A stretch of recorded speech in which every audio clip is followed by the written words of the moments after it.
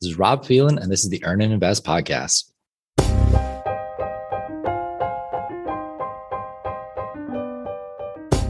Two stories well known in the personal finance world about kids and money. One, J.L. Collins, writer on investing and financial independence, started his blog and eventually book to record his thoughts for his young adult daughter, Jessica, who had no interest in hearing about them at the time. Two, Diana Merriam chose to hold her annual conference, EconoMe, at the University of Cincinnati in hopes that never came to fruition that students were interested in learning about personal finance. Although year one was a smashing success and year two most assuredly will be, very few students are slated to attend. These examples lead us to believe that when it comes to kids and money, it appears that garnering their interest is indeed difficult. Maybe, just maybe, we're not starting early enough. Rob Phelan is a father of a two year old Declan, husband, and an advocate for personal finance education. He is also a high school math and personal finance teacher in Maryland. His book, M is for Money, which was created to help young children become confident and responsible money managers, is available for pre order now and officially launches on November 13th. Rob Phelan, welcome back to Earn and Invest. It's great to have you back. Hey, thank you so much for having me. I love the introduction. You said I'm like dad to a two year old Declan. I'm like, that's a great way to describe him. Like he's just his own little like monster child, amazing person. So yeah, he's definitely in his own category. Well, and it's interesting, you know, having kids changes you. And this was your first child. Tell me about writing this book. Did your son inspire you to set off on this project? Absolutely. Yeah. I think the last time we talked, so thank you for having me back on. First off, I think I was the first guest after you changed the name of your podcast, Earn and Invest, because I remember I was practicing, like, no, we got to say something totally different. He totally inspired this. Seeing him grow up, he was getting into that late one, early two age, and was really starting to show a lot of curiosity about the world, understanding kind of some of the systems that were in place. Like, he wants, he loves going to the grocery store loves sitting in the cart, loves helping us put things in the cart, taking them out of the cart. He wants to help pay for things. So basically, he wants to take the card and swipe it. He loves doing that. And I was like, okay, you, you you're showing an interest in learning more about this, and I want to find a book that you know because he loves to read, and I want to find a book that would just introduce some basic money concepts and in a playful, fun way. And there just wasn't much out there. There's very little out there that targets that young an age group. There's plenty out there for adults. Like we know the adult market is full of books about self help and personal finance. Late teens, we can find some. Middle school, a few less, not many. And then elementary school, there is not much out there at all. There's a couple of stories where money might make an appearance in the book, but it's not the central theme. So I wanted to create something that was meant for three to eight year olds, that first age group that should be starting to learn about money. And yeah, my son was definitely a driving force behind that yeah, let's talk about that first age group. You defined that as three to eight, and I remember having Doug Nordman on the military finance, uh, financial independence guy, and I asked him the same question: Is it ever too early to teach your kids about money? And he said, pretty much you know when it's time to start teaching them when they stop trying to eat it. And I'll ask you the same question: Is it ever too early to start? I don't think so. And my son is still like you can't trust him with coins, so he's already still not in that age group of I can trust him to like handle coins safely and not put them in his mouth. We like will identify them from books where there's good examples of like quarters, nickels, dimes, and so on. But yeah, you can't trust him to handle coins yet. As soon as they start showing an interest in what you as an adult do, which is pretty much um, as soon as they can start walking and talking, like they start kind of trying to replicate what you're doing, they want to replay what happens in their day to day life with their toys, with the stuffed animals um, with you as well. And you can use those opportunities to start having money conversations and even just kind of guiding their play as to like, this is how a true money situation would work. So, like, for example, my son loves to push his little grocery shopping cart around and will place like his play food around the house and he'll go and he'll pick it up and put it in his cart. And then he stops by the cash register on the way um, to finishing and he wants to like pay for it. And he'll just hand us imaginary money and we hand him back his change and then he goes on his merry way. But just, yeah, we, we play out basic concepts so that he gets the idea that you have to trade money for things that you want or need. You're a pretty financially savvy guy. You're a financial educator.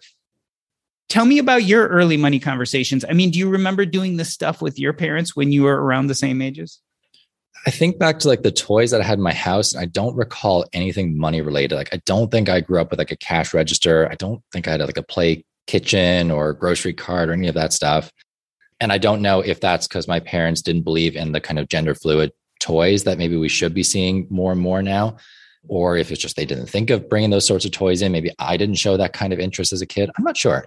So, no, I didn't have that sort of stuff growing up. And I don't remember having formal money conversations with my parents.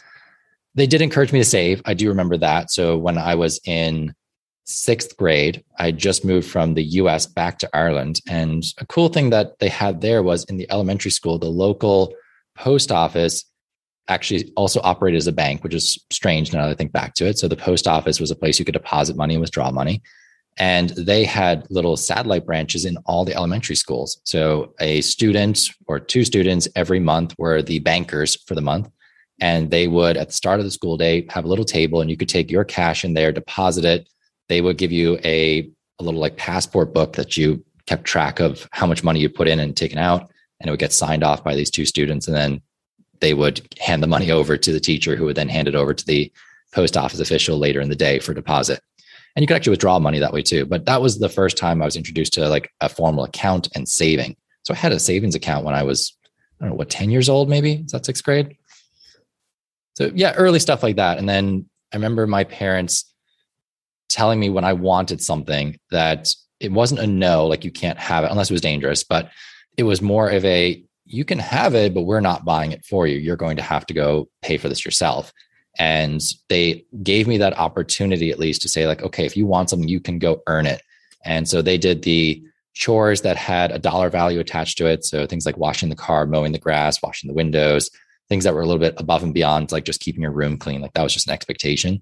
And then also I remember collecting like bottles and cans from my neighbors and take them to like a bottle bank area that would pay you, I think it was maybe a nickel for each one. And I remember collecting my money that way to be able to buy things that I wanted. I think I saved $100 once for a Lionel train set when I was, I had to be under 10 because I was still in the US. And I have vivid memories of saving up for this thing for months, going and buying it, and then two weeks later being totally bored with it. And it was a total like learning experience for me your experiences are interesting, especially when you describe Ireland and how you're talking about kindergarten age kids getting involved in the banking system. In my introduction, I talked about older kids, right? Young adults, and at least two cases where it didn't seem they were as interested in money as we as educators and adults were hoping is there a problem if we wait too long? I mean, you're a high school finance teacher. Is there a point where if you let it go too long during childhood, the kids eventually lose interest and then don't want to be involved in such conversations? A little bit. I think the difference between teaching young kids and older people is that for older people, it's self help. For young kids, it's just developing positive attitudes, relationships, beliefs, values, habits around money. Like it's just, it's part of their whole like learning experience. And I can see like why Diana is struggling with the college students. I have the same problem with my high school kids that they don't realize there's a problem yet. And most high most college students don't realize there's a problem until they graduate. And six months later, that first student loan um, payment invoice comes in. You're like, oh, that's that's a lot of money. And we see that that's what's causing our student loan problem is that people are signing up for these things. They're signing on the dotted line. They don't get what they're doing.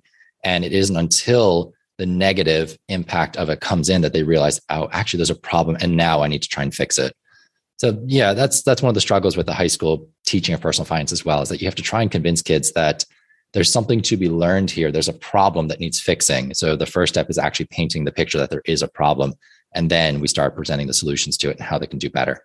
With young kids, yeah, they just they just want to learn everything. Like kids are full of curiosity. They want to do all the things that the adults are doing. And it's just an opportunity for parents every single day to be a good role model, to be a play partner. So, someone who gets down on the floor with them and reenacts these situations and helps them play through how money works.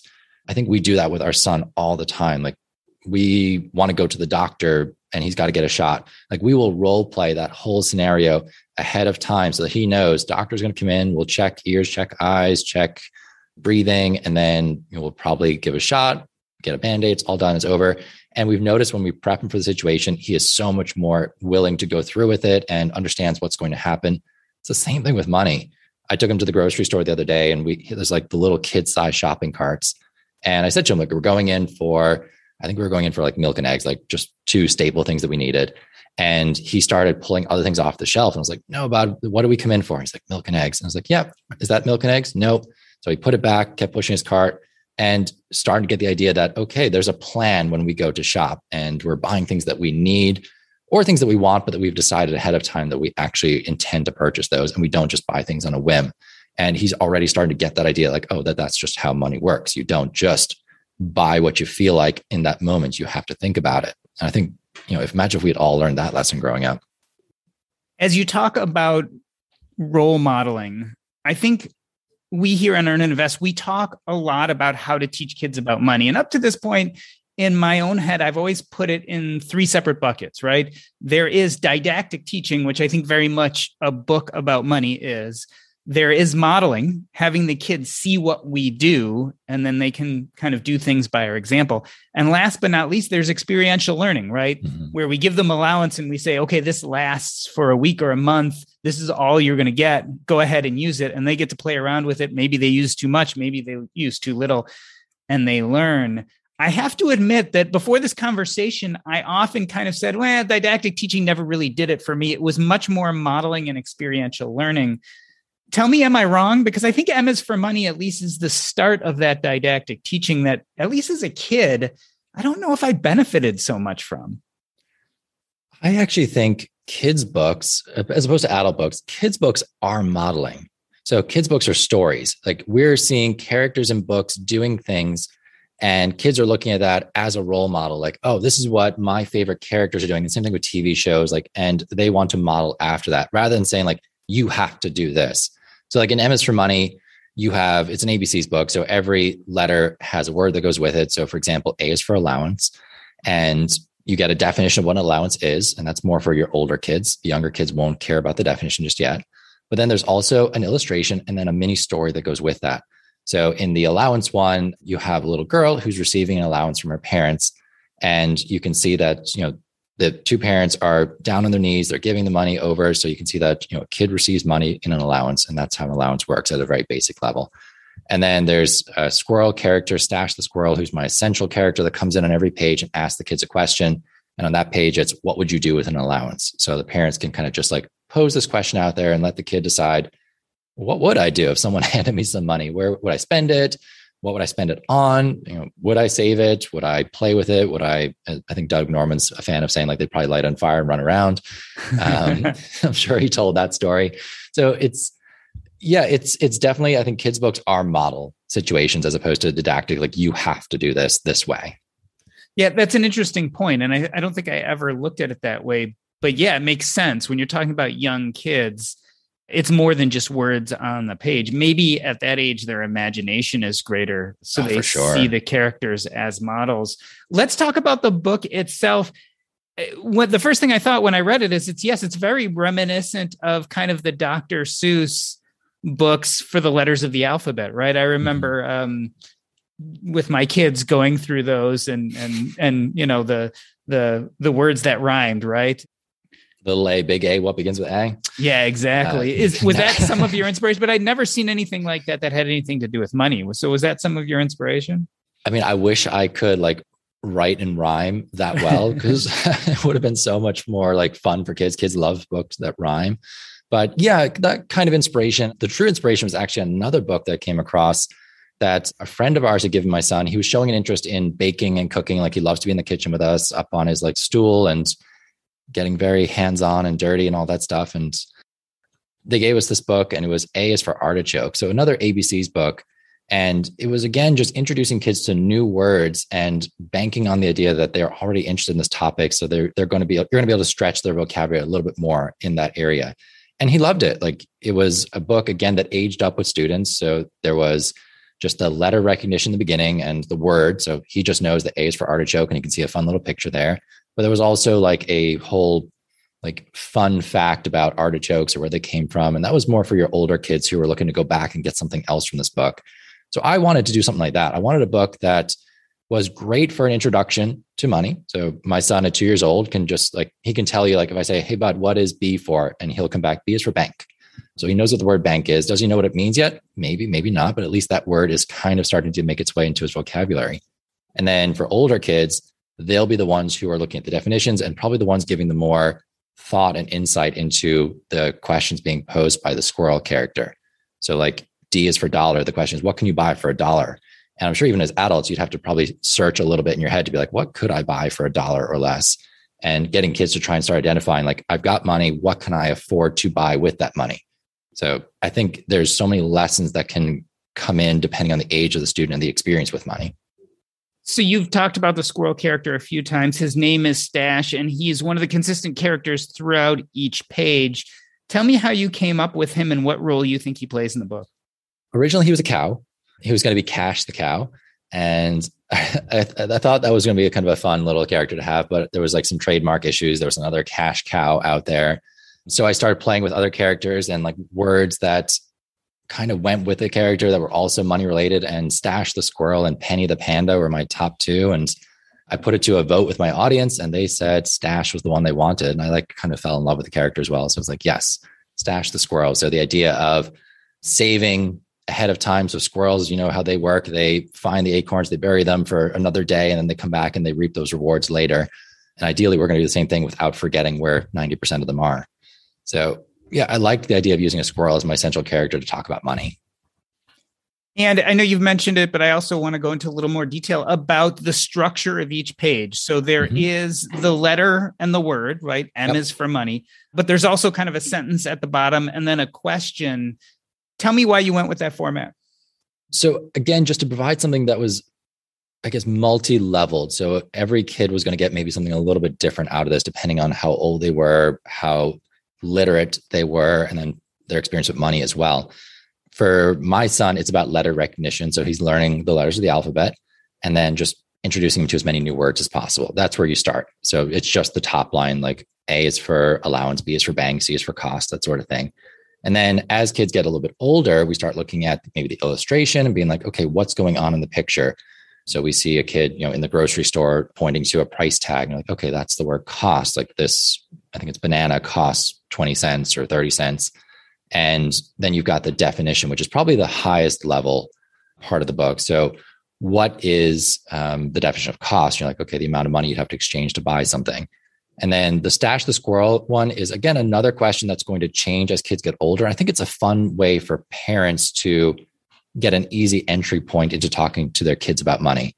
Because you, I was trying to think like what's the barrier for parents as to why they don't do this already. And I think some of them it is just a lack of comfort around the topic. Maybe they don't feel like they have a very good understanding of money itself. They've had bad experience with money. Maybe they don't feel like they handle money particularly well. And I wanted to give parents or educators or caregivers this easy entry point to be like, here's a question you can ask to a kid where you don't have to volunteer much of your own information, but you can certainly engage them in a conversation and get them thinking about money. And we're trying to build thoughtfulness, we're trying to build positive habits and just a healthy relationship with money. So there's no shame, fear, guilt around the topic as they get older. I definitely want to jump into that whole sense of shame and fear and guilt. But before we do, I feel like I want to touch on some of the specific letters. You know, we we mentioned obviously it's called M is for money. Mm-hmm. You mentioned A for allowance, C for cost. I noticed a few that were interesting. K is for kidpreneur. Did you have trouble finding some some words that you wanted to use, and how selective were you? Because I think that's uh, kidpreneur was a, a really interesting one. I think very important for this topic, but it wouldn't be something I'd come up with immediately. So last time I was on the podcast, I was talking about the simple startup, which is my business. So entrepreneurship is something very close to my heart, and I wanted to find a way to get this into the book. E is for earn. So we do talk about earning money, but I also wanted to get entrepreneurship in there, and I couldn't have two E words. And K, yeah, K is a hard one to find like a good money word for.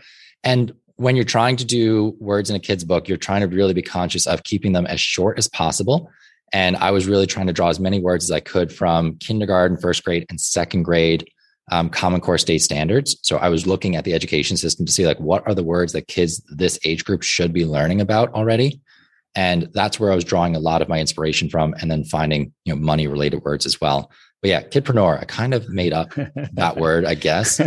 But you know, kid, kids being entrepreneurs, we want them to go out and find ways to solve problems for other people, earn their own money. Uh, I, I love the idea of entrepreneurship for kids for sure. What was the hardest letter? I'm going to guess it was X, but uh, tell me if oh, I'm yeah, wrong. For sure, X. It's like every book, it's like X ray and xylophone. You're like, well, no, none, none, of, none of those fit. those here. aren't money words. Yeah. Yeah. So I went with exchange, which obviously starts with E, but it has a strong X sound and trying to find words that had the a strong sound for the letter and the appropriate sound. So you weren't trying to find weird words in the English language that don't sound anything like their starting letter. You're trying to find ones that are um, you know appropriate for that letter. So kids are learning sound recognition as well. That was some feedback I got from a preschool teacher when she read the book. She's like, you know, I love these ones because they sound like they're supposed to, but these words don't. So I made a lot of changes to make sure that I was helping the teacher side as well. Uh, tell us about the graphics. I, I noticed you were very, very thoughtful about the graphics. A, a few things stood out. One is inclusivity. So it seemed like you were very thoughtful about being inclusive of different kinds of people and different kinds of families. When I was looking to hire an illustrator, I created pretty much a job description of what I wanted. I had to say like this is the style I wanted. I gave some examples from other kids' books of the the overall art artistic style that I wanted them to produce. I said that I needed you to be comfortable with drawing children from multiple backgrounds, nationalities, cultures without it being like cultural appropriation. Like they needed to look like they belonged in the US. So I didn't want to stereotype people in any way, but I also wanted it to be obvious that there was inclusivity in the book and kids could find themselves in the book. So they're differentiated based on appearance, family structure, different, I guess, levels of ability. So we have kids with um, hearing aids, glasses, wheelchairs, as well as you know kids who don't have those things. We have same-sex couples, we have single parent families, grandparents are mentioned. So trying to get as many different opportunities for kids to recognize themselves or see themselves or identify with a character in the book as possible because you look at the statistics for children's books and they're predominantly white.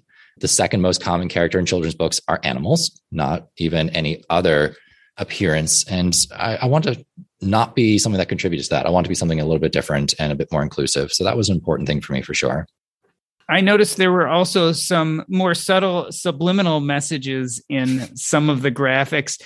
On R is for rent, uh, there is a sign in the back, a picture uh, with Paula Pant's famous quote uh, You can afford anything, but you can't afford everything. And then I also noticed that in S is for save on the marquee in the theater in back is announcing the Plutus Awards, which is of course the personal finance creator awards. You snuck some things in there. So when I was creating this book, I did it through Kickstarter. And I don't know how familiar everyone is. So I'm just going to give a quick background Kickstarter. Apologies for that if you know what it is. Kickstarter is a crowdfunding platform. So you imagine like a GoFundMe, but instead of it just being let's raise funds for a particular person, we're going to try and sell an idea and create an idea together. So, people who have an idea for a business or a product, a game, a book, um, a play, anything like that, you can go on a Kickstarter, tell people about the idea, and then let them buy it ahead of time. So, you're pre selling it to them. So, I did a Kickstarter for this book. I had a couple of images to get started. I knew what the book was going to be about. I already had a first draft done and I was able to pre-sell the book on Kickstarter. And people can buy different levels, different tiers of rewards. So the the lowest one they could do is just say, I want to see this book come into the world. I'm going to contribute to this project without any reward at all. And then there was an ebook, which was the cheapest reward tier you could buy. And then you got a single hardcover, a signed hardcover, two hardcovers. And then it built up to the highest one um, that I sold was for a class set of books. So someone was buying a book for themselves and they were donating 30 books to classrooms. And what I did was to get the campaign started, I approached people that I loved in the personal finance community. I like their message. I've listened to their content or watched or read their content. And I said to them, look, I want you to be one of these high tier backers. And as you know, a reward, I guess, for that or a thank you for that, I want to include an Easter egg in my book. And it's the Easter egg idea comes from video games where like you've got this kind of subtle message inside of a game or a movie or a book that only some people will recognize because they know those brands already and everyone else will just kind of gloss over it. So those are my, I guess, early adopters who came in and said, yes, we really want to see this project come to life. And that was my way of thanking them for that.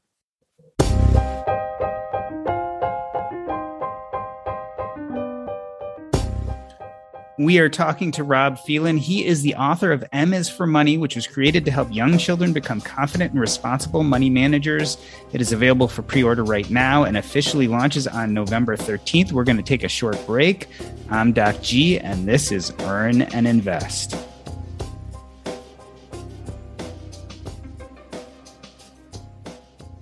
Here on Earn and Invest, we often talk about fintech, but specifically, which apps do you use that makes your money easier?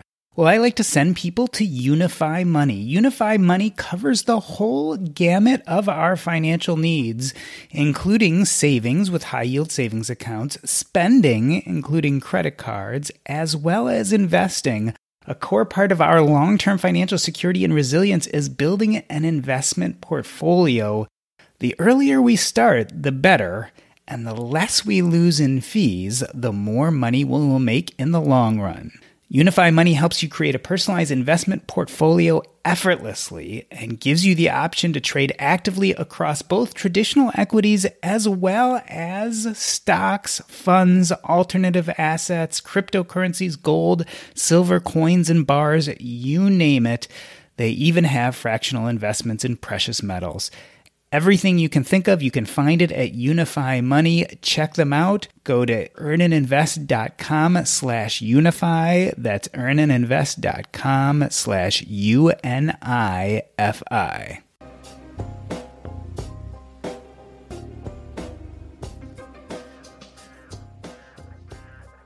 Rob Phelan is a father, husband, and an advocate for personal finance education. His book, M is for Money, comes out November 13th. Rob, you wrote on M is for Money webpage, and I heard you talk about this earlier. My goal for this book is to help young people build positive relationships with money. You also talked about guilt and shame. Why was that so important in making this book? When I started my personal finance journey and started really diving into podcasts, blogs, books, I remember, I think it was Brene Brown was the first person who talked about the idea of shame and guilt around money. And I was like, it makes so much sense. Like people are a little bit embarrassed to talk about money. It's this taboo topic. Most of us have not made the most amazing decisions in the world in our 20s or early 30s. And it just ends up being this topic that nobody really feels very comfortable bringing up at a party or talking about with their friends. It's sort of this source of shame and guilt. And I don't want kids to feel that way. And that's how I feel when I teach high school as well is they're almost taken aback by how open I am about money and especially my own finances. Like they've never come across, in some cases, an adult who is an open book when it comes to asking questions about money. And I want to I want to encourage kids to think that way. So giving parents, caregivers, teachers this opportunity to have a medium for talking about money was something that I wanted to achieve with this book.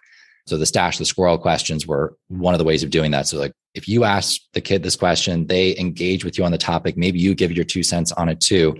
Now you started this idea that it's okay to talk about money. It's okay to ask questions. It's okay to want to talk about money. So like it's not like you're a horrible person if you want to earn money or you want to build wealth for the future or security or safety or you want to give generously. And I think we have to break some of those stereotypes as well. That pe- the only people who think about money are like horrible people who are out to rule the world with their wealth. Did it occur to you as you were writing this that it would actually be the parents, educators, and caregivers who this would help deal with some of that shame embarrassment as opposed to just the children? Yeah, because it's the kids don't really have any shame or embarrassment yet around it unless they've already started having that mindset brought in. It's mostly us, the the adults who need the help there. But if we're going to change a generation, you've got to at some point break the wheel and start again. And this was hopefully going to be something that would help do that. It won't do it on its own, but it's that first step for kids where a parent, caregiver, teacher can introduce the topic in a safe way and let kids start at least building a positive relationship with money. One thing I thought is you're pretty thoughtful about the adults in the room who are going to be introducing this book. In fact, you even added a guide at the back of the book to help caregivers use the book. Tell me why you included that and, and how it helps them. I saw examples of this in other books. Tiffany Aliche has a wonderful book for kids, Happy Birthday, Molly Moore. And that was one of the, again, the first kid books I came across. I was like, this is a book written by someone who understands money and it's for kids. And I really liked it. My son loves the book. And in the back, she had this like tips for parents, like to bring up money conversations at home. I was like, I like this a lot. And I want to just change it now to also include teachers and caregivers because I can see this book ending up in schools. I can see grandparents keeping it home. I can see different community organizations potentially using this and giving talks around it. So I didn't want to just limit the conversation to parents because we know kids are influenced and around by so many other adults than just their parents. And in some cases, they don't have parents involved at all. So I wanted to make sure it was very inclusive in that way too. I see this book as the opening volley, maybe one of the first things kids are introduced to. Tell us what the next steps are. So, parents, educators, caregivers, they're going to be getting this book, they're going to be reading it with their children. What happens next? How do they continue that education? That's a great question. So, there are more books coming out now, which is great. So, if your kid is showing an interest in reading and they love reading, they love books, then there are lots more books you can find and books that will age up with them. I would say, like, as you start introducing this money vocabulary, now it's up to you to try and start bringing it into daily language. So as you're out and about, can you start pointing out the things like, oh, this is how much this one thing costs? That kid is doing a lemonade stand. They're a kidpreneur. There's a dollar, and you start pulling out cash and showing them all these things and bringing it into part of their lives. And we talked already about like getting down on the floor and playing with them, being a inclusive, like trying to include them in the money I guess, experiences on a day to day basis. And I think it's very easy as parents to be like, kiddo, you stay at home with other parent or babysitter, caregiver, whoever. I'm going to go do XYZ to kind of care for the finances of the house. And they never get to see what's going on. It's the same thing when you go to work. Like you're you disappear for the day. You say you're going to work. Your kid has no idea what that means. They just know that you're gone and you come back again.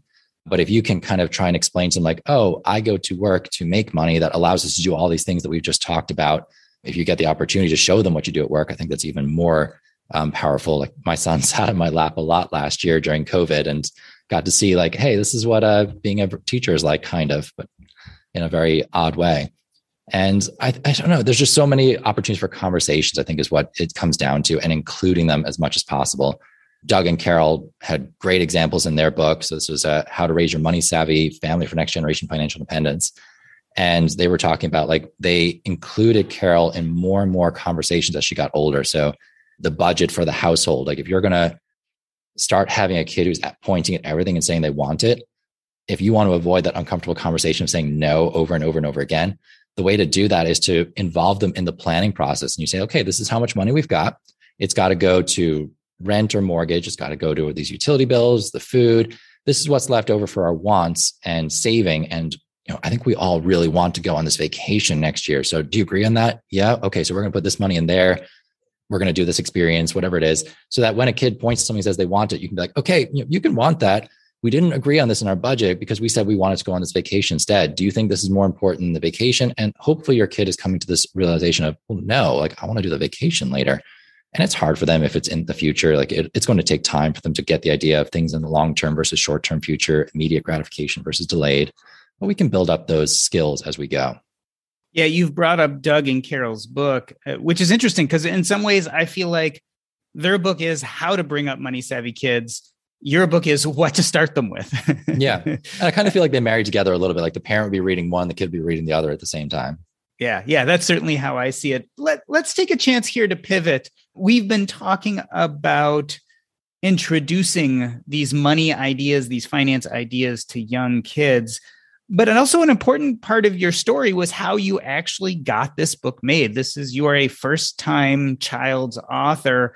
Let's start with the basics. How long did it take you to write this book from start to finish? Because a lot of times we look at kids' books and we, I think we wrongly feel there's not that many words in them, so that it's a fast process. But uh, my bet is that it takes longer than people think. I think it does. And I think it can be a fast process. Like I think there are some children's books authors who can churn these things out very quickly because they understand the process now and they're just they're in that zone. This is what they do on a full-time basis. So yeah, word count wise, it's not that long. I think it's less than a thousand words um, if you string all the words of the book together. But every word has to be because there's so few of them. Every word has to be very thought out. It has to be very purposeful. You have to cut anything that is potentially confusing. You have to really look at your language and make sure that it's something that is universally understood by children. The, the words you're using are age appropriate and not going to be something that's outside the vocabulary that's going to confuse the meaning of the message. So if I'm introducing a new money word, I can't also introduce five other new words in the same sentence, or they're going to totally lose track of what they're doing. the illustrations are such a big part of a children's book because that's what they're going to see first. That's the part that's really going to grab their attention, especially when they don't know how to read yet and the parent is the one doing the reading. It's, you know, it's got to be very inviting, it's got to be very eye-catching, hold their attention, it's got to show enough in there that kids can feel like what the story is about. So like in my case, like I had to try and find ways to describe some action words that were a little bit hard, like the idea of give, like it's a verb. Like, how do you show that in a still picture? Think something like dollar is a little bit easier. Like, you just have to include a picture of the dollar in the image somewhere, but some of them are a little bit harder than others. And that was the part that took the longest time. Like, writing the first draft, not super long. I think I started in January and I was probably done the first draft by March. And from there, it was kind of tweaking words, making, doing focus groups, seeing like what other people thought and testing with kids. But the illustration part, I started in April and we didn't finish the illustrations till August. So it was a lot of going back and forth with the illustrator, trying to convey the message that I was trying to get to parents, caregivers, and so on, and tweaking those finer details that you talked about to make sure that this was the complete picture. You just said a few interesting things. Let me start with the first. How long did it take you to find an illustrator and how did you? So the illustrator to find them wasn't terrible. So there are lots of wonderful Facebook groups out there for independent authors. So I'm an independent author for this book. I published with ChooseFI Publishing for um, the Simple Startup when I did that. So this was a different adventure for me. And if you're an independent author and you're doing it on your own, that means you know you no publishing house that's helping you out. You're doing you're responsible for everything. I hired a independent author coach to help me out, which was wonderful. Her name was MK Williams, and she was fantastic at just kind of guiding me through this process because there is a lot to learn. And the illustrator part, I went into Facebook groups for children's book authors and illustrators. There's at least seven major ones with over 30,000 members in them. And I created a job post. And when you do that, you have to be very de- specific and detailed about what you want.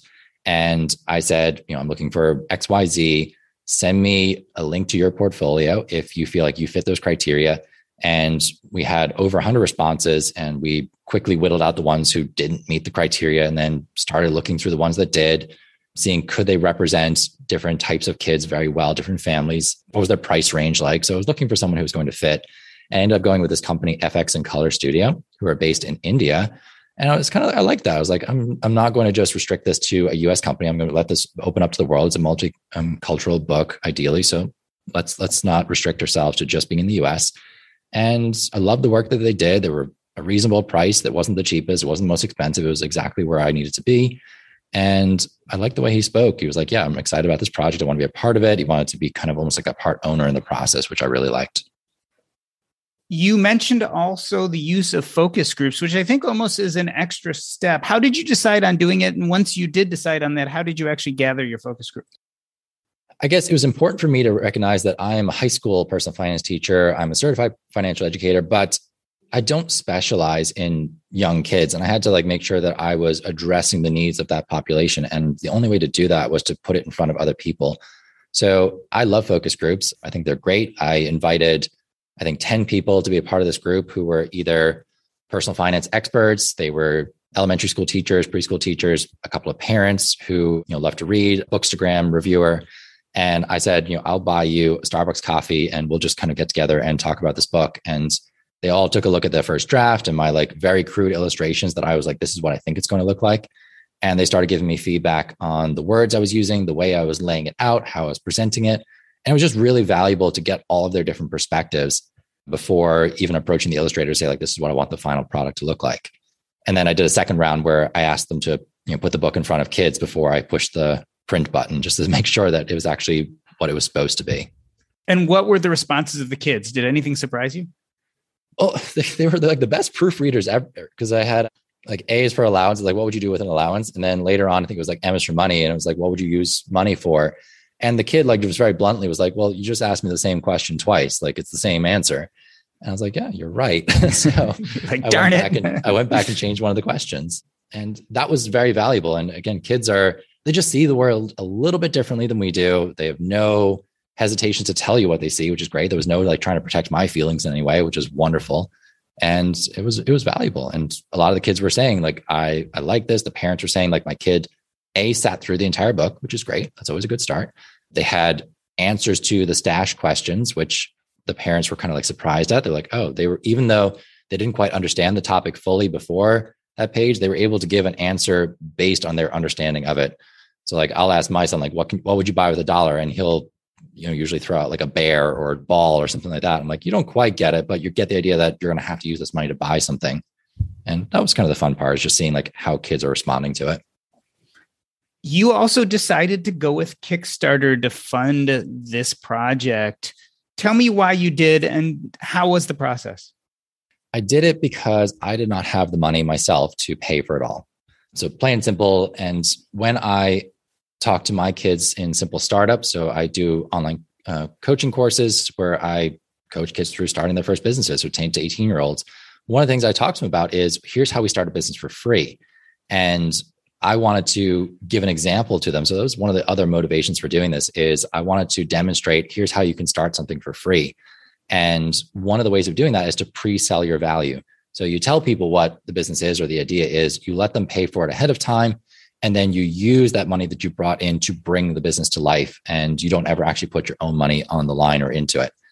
And the Kickstarter kind of solved two problems for me. It helped me to fund it first off, and it also gave me idea validation. So, did people actually want this book in the first place? Because your your friends, your family, your spouse, they'll tell you it's the best idea in the world. Like, oh yeah, absolutely, I'd buy that. But until you ask people to pull out their wallet and pay for it, you don't really get true feedback as to whether it's a good idea or not. So, Kickstarter, if you don't fund the project, so you have to set a funding goal of how much you want to raise to bring this project to life. If you don't meet the funding goal, nobody's credit cards get charged. Everyone walks away from the table without losing money. So, up until that point, Kickstarter doesn't make anything. There's no fees or anything like that. It's just your time to make the page. And we met our Kickstarter goal of $6,000. We met that in the first 10 days.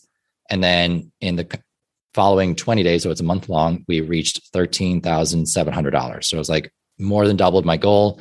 I was like, okay, people actually want this thing. So I'm going to move forward with this press print and start making this thing a real, a real deal. So that was the reason why I went Kickstarter. Tell me what was the average avatar of the person who was putting money towards the project?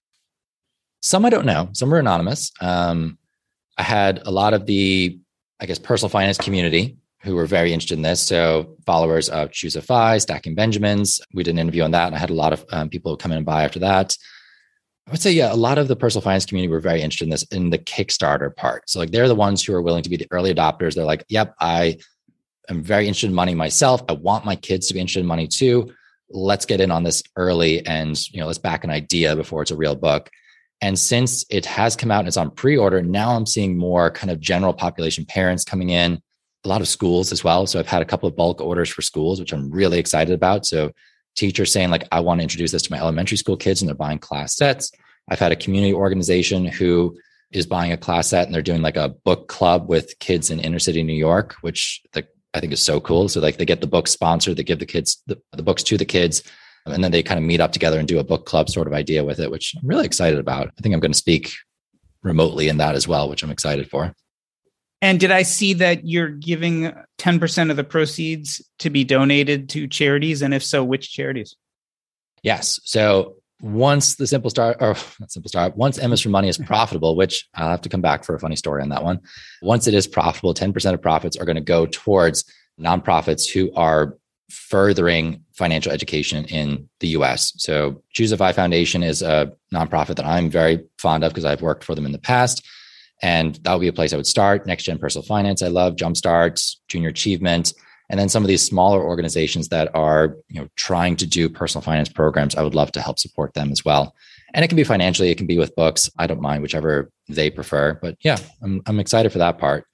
The reason that there's no profits yet, though, is, you know, unfortunately, the first round of books came back and I thought they looked great. We proofread them for, I don't know, 20, 30 times, like me and a couple other people. And everything looked great. I was starting to send them out to my Kickstarter backers. And then I dropped one off at my local library. I was like, hey, would you be interested in putting this up on the shelf? And she wrote me an email. I was like, oh, I love this. It looks great. I can see this being a great resource for kids, but we can't put a book on the shelf that has a spelling error. And no. I, I oh, was no. like, no, it's not, it's not possible. This book only has like three, four, three or four words and how is there a spelling error? But sure enough, on the page, it's one of those, I guess, tricks of the human mind that we see the word that was supposed to be there as opposed to what's actually there. So the word P A Y, so pay, had PAX. And I guess the letter X and Y are sort of similarly shaped. So, like, yeah, the mind just reads over it. But this person caught it. And thank goodness they did because I hadn't pressed print on the mass production kind of thing yet. So I had to do a reprint of that early run. So there's now a collector's edition of the book out with a, a spelling error in it. If anyone wants to try and grab that, mm-hmm. but I had that to, could be worth that could be worth more.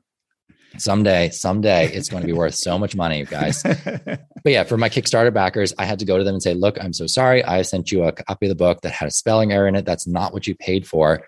Please let me know if I can replace that book for you for free. And you know, several of them come back and said, yes, you know, love a replacement for it. So I think as a business owner, an author, it was important to stand up and own that mistake and replace the books. But yeah, that unfortunately put me in the red temporarily. But pre-sales are looking great. So I'm expecting to be back in the black very soon and being able to start giving that 10% profits to you know nonprofits that are close and dear to my heart. Yeah, I would expect you to be back in the black soon too, because I really feel like M's for Money fills a space that hasn't been filled before. I think it is made for kids of that certain age. And as you said, it takes something that is filled with anxiety, guilt, shame, all sorts of things in adults, and it lays it out there for kids so they can have a healthy relationship with money, which I think is a very valuable tool and resource. I wanted to thank you for coming on the show and do what I do at the end of every episode by having you tell us what's up next in your life and where we can find you if we want to learn more. What comes next and where can we find you? All right. So next is the official launch of the book. So it's available for pre-order now. The book officially releases on November 13th of 2021, but you can go find it anywhere you know major books are sold. So Amazon, Target, Barnes and Noble, Bookshop.org. They are all carrying is for Money as a pre-order at the moment. You can buy it in hardcover, softcover, ebook, or audiobook. Which the audiobook was a really exciting one as well. We have like a, a whole story for that one, but we'll keep that for another day. Did you read it yourself? I did not. Oh, no way. We hired a voice artist, voice actor. Voice actor, yeah. Yes, from Fiverr. And he did an amazing job. I love it. My son is obsessed with it. Like we'll listen to it in the car all the time. He prefers it to the actual book at the moment. and then up next after that is the Simple Startup has its winter challenge starting. So the next crop of young entrepreneurs are going to learn how to start their first businesses, which I am always so excited for. I'm only doing it twice a year now. I kind of scaled it back to make room for other projects and to sort of I don't know. I want it to be a winter and a summer thing. So the winter challenge starts on January 12th. It runs till, until March 9th. And uh, you can find that information at thesimplestartup.com forward slash challenge. And is that the best way to find you at thesimplestartup.com or misformoney.com? Yeah, I'm like all over the place now. There's so many different things. misformoneybook.com is where you can find information about the book. You can contact me. Thesimplestartup.com is where you can find information about entrepreneurship for kids. I'm on all the major social medias. Um, not on TikTok yet. Haven't gone there. Are you dancing on TikTok yet, Doc? No, I am no? not. And I have to admit, you know, I, I'm 48 years old, and I just think it's it's passed me up. I think. I don't know. I don't know. I think you pull it off. You know, like lip syncing to song lyrics, like totally off. Like you could do it. I was about to say the last thing people want to see is Doc G dancing around and pointing to the screen as oh, yes. important money concepts pop up. I would but... point to the screen and the bubble would pop up in the wrong space. So I'm like, I, I don't know. But yeah, you can find me on Facebook, M for Money Book. You can find me on Instagram, M for Money Book. Twitter, it's Fi Educator, F I Educator. And I'm on LinkedIn as well if anyone wants to connect with me there. All right. Well, this has been the Earn and Invest podcast. On behalf of myself, Doc G, I wanted to thank Rob Phelan that's a wrap.